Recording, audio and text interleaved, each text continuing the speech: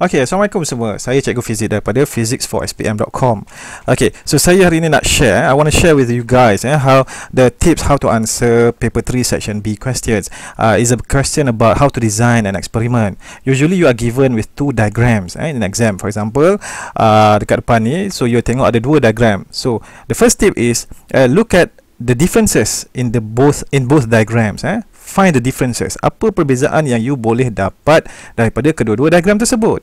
Okay so you kena careful because this experiment eh, you kena keluarkan inference dan hipotesis yang betul. Kalau you keluarkan inference dan hipotesis yang salah maka you ada tendency untuk hilang hampir ke semua markah Alright, so macam mana nak keluarkan inference dan hipotesis yang betul? Maka cari perbezaan dalam kedua-dua diagram. Kalau kita tengok dalam uh, dua-dua diagram A and B ni, kita boleh nampak ada perbezaan dari segi dekat bulb ini. Eh. Dekat bulb ni kita nampak perbezaan dari segi kecerahan ataupun kita boleh kata perbezaan dari segi brightness. Eh.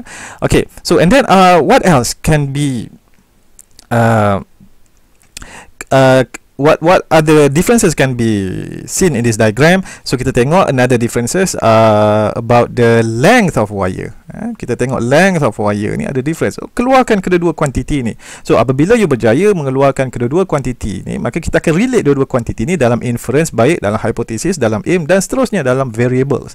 Okay so now macam mana kita nak keluarkan inference? Maka kita kata uh, we can say that the inference uh, from the inference kita kata okay sebelum kita keluarkan inference dia maka brightness ni kalau dalam bulb ni sebab kalau kita tengok point number C kat bawah ni dia kata dia suruh guna apparatus such as emitter and constant wire. Maka dalam eksperimen tersebut bila kita nak design eksperimen kita dah tak pakai bulb lagi dalam eksperimen tu. Maka kita kena pakai constant wire. Maka kita kaitkan brightness of the bulb ni actually with the amount of current.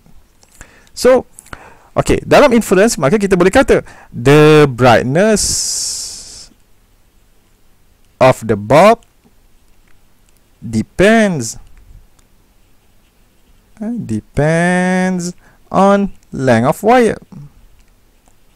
Okay, kita boleh jawab inference macam ni eh brightness of the bulb depends on the length of wire. Okay, so now bila hypothesis maka saya galakkan instead of guna brightness saya galakkan kita guna uh, quantity yang kita boleh measure because kita akan refer uh, dalam eksperimen benda yang boleh diukur. Mana benda-benda yang uh, quantity yang ada unit eh uh, brightness tak ada unit. Eh, macam mana kita nak bagi unit brightness? Apa kecerahan dia? Eh, unit dia berapa? 10. 10 apa? 10 bright bright. So kita instead of kita guna uh, brightness kita guna current. Because current can be measured. Unit dia am, ampere. So can be measured using ammeter. So kita tulis hypothesis dia uh, the longer the wire for example kita kata the longer the wire the lower the current. Maka kita boleh jawab begini sebab kecerahan bulb itu depends on amount of current it received. So uh, this is how you extract the hypothesis okay? So now uh, that's why it's crucial eh, to take out the right hypothesis and the right inference. Because in the hypothesis itself kita boleh keluarkan aim dia maka kita akan relate antara length of wire and amount of current.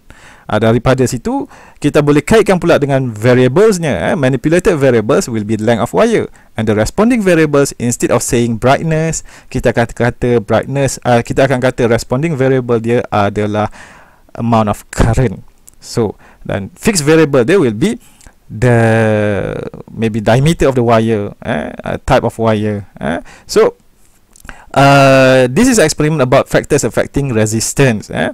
uh, so uh, this is uh, one of the important topic in electricity uh, in the aspect of paper 3 eh. so make sure you cover uh, the factors affecting resistance uh, all the experiment uh, there are other factors such as uh, uh, thickness and so on. So uh, I think that's it uh, for this discussion okay uh, about how to extract hypothesis and inference the right hypothesis and inference in designing experiment okay? So kalau uh, if any one of you interested to join my online class you can uh, visit my website www.physics4spm.com or you can call me at 010 252 1277 so uh, if you need to ask anything or SMS about regarding my online class you can call this number 010 252 1277 for until then now bye bye